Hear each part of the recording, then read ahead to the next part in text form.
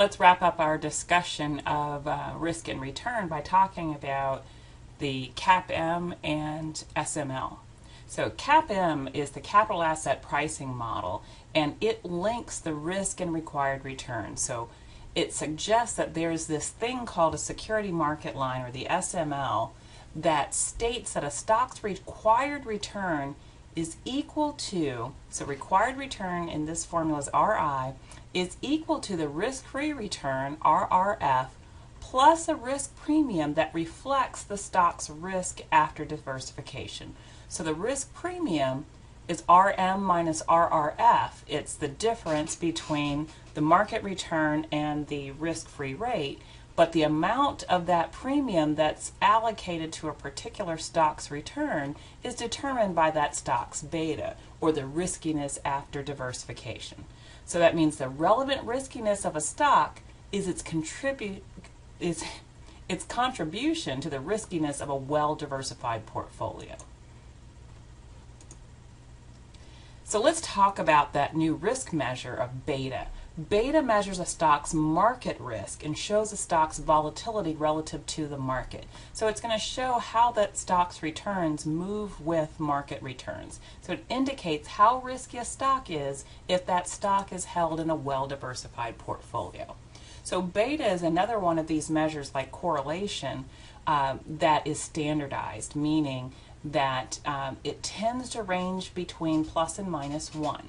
So if a beta is equal to 1, the security, actually, I shouldn't say it ranges between plus and minus 1, but we do have some benchmarks. So the one benchmark is that if beta is equal to 1, that means the security is just as risky as the average stock or as the market in general.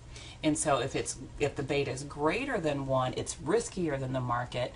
The beta is less than 1, it's less risky than the market. And so betas typically range between not plus 1 and minus 1, but 0.5 and 1.5. You can have a neg negative beta, and that's the subject of this question, but it's not the norm, but we will see that in this example that we've been working through. So yes, you can have a negative beta, and so that's typically going to happen when you have a negative correlation between the stock and the market, like we're seeing with collections. So if the correlation is negative, that means the regression line is going to slope downward because that's all beta is, is a slope coefficient. And so that's going to make beta negative. But again, not very likely.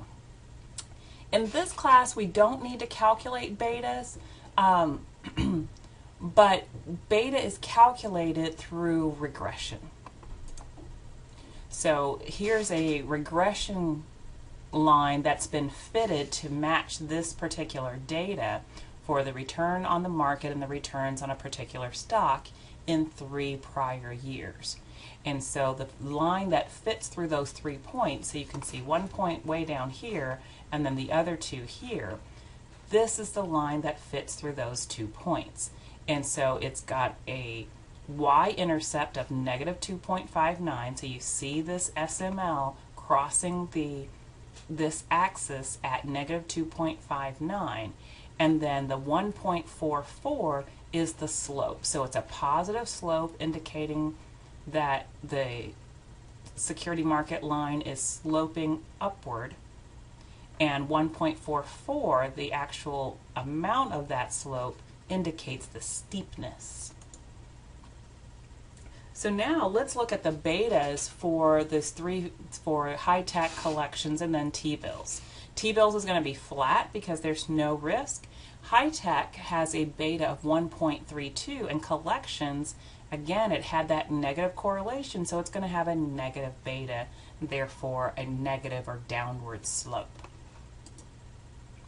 So here are our expected returns that we calculated earlier, and now we're, we're given betas. Again, in this class we're not calculating them, so these betas are given to us. So riskier securities have the higher returns, and now they have the higher betas. So the security market line um,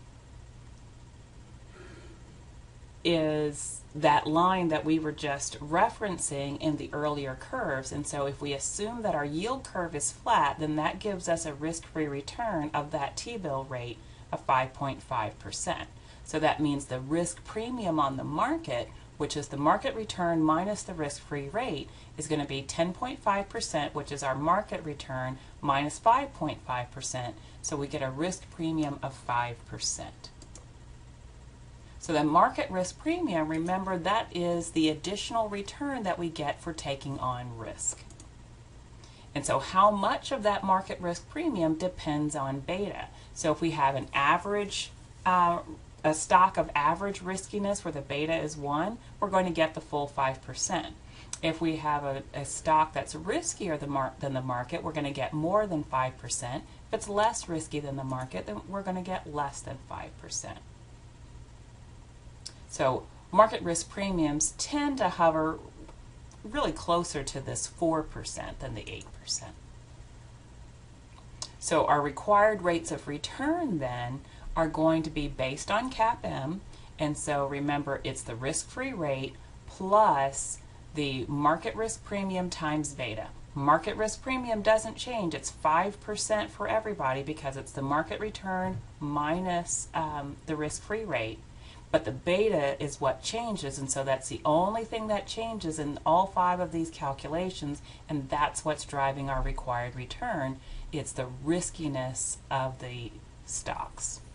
So here are our required returns for all five stocks. Well, the three stocks plus the market and um, T-bills. So notice that the required return on the market is the same as the expected return because it's got a beta of 1. The required return on T-bills is the same as its promised yield because there is no risk. Now, Required returns are the return that investors are demanding given the riskiness of the stock. And so now we can take that required return, which in this table is listed as R, and compare it to our expected return from those original forecasts. If our required return is lower than what we're expecting, then that stock is actually undervalued. We should be paying more given the expected return. So high tech is undervalued because we only require a 12.1% return, but we're actually going to make 12.4. The market is always going to be fairly valued. T-bills are going to always be fairly valued. But in this example, U.S. rubber and collections are overvalued because we require a return that's higher than what we expect to receive.